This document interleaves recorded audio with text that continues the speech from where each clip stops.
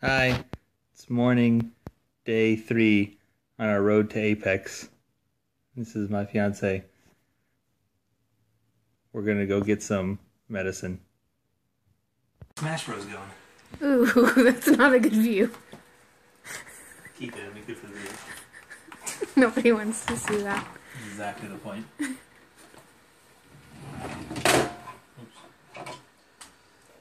You know, but sometimes you gotta sacrifice for the game.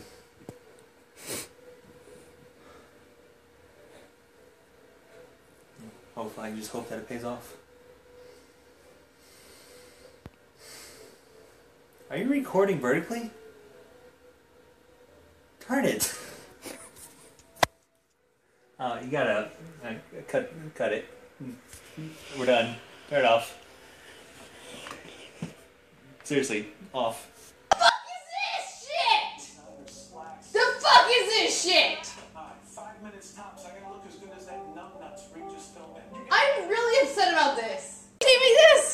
This. Now I am. Very upset. Okay, I uh, clearly only play high tier characters here. Um, Ganondorf, as we all know, is uh, S or S plus, depending on uh, you know, depending on uh, which uh, tier list you're looking at. Um, S, of course, being for shitty, the shitty bracket. Yep.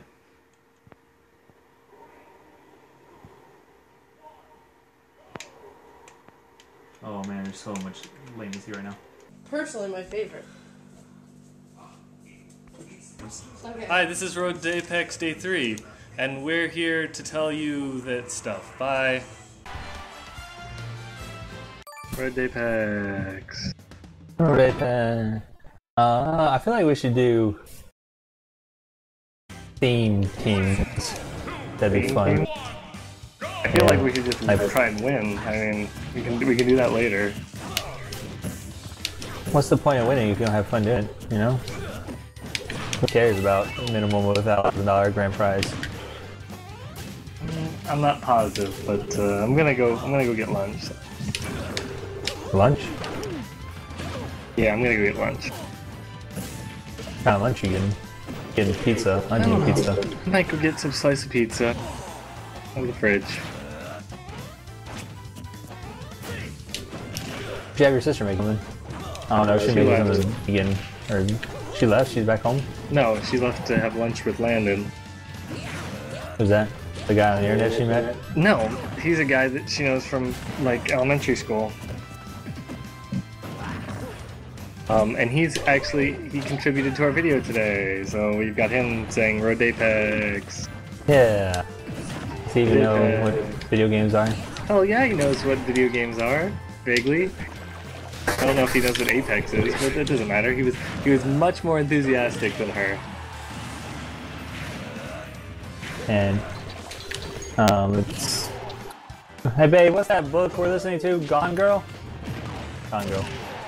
Um, and we got to this one chapter. Uh, spoiler alert, by the way, in case you actually want to read this book and/or see the movie.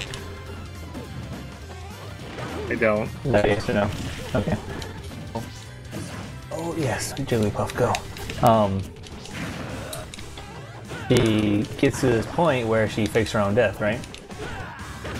And uh, she like suddenly, suddenly she was like this really cool chick for like the entire book, and suddenly she goes all like hyper feminist on us, and uh, starts describing what every man wants in a woman.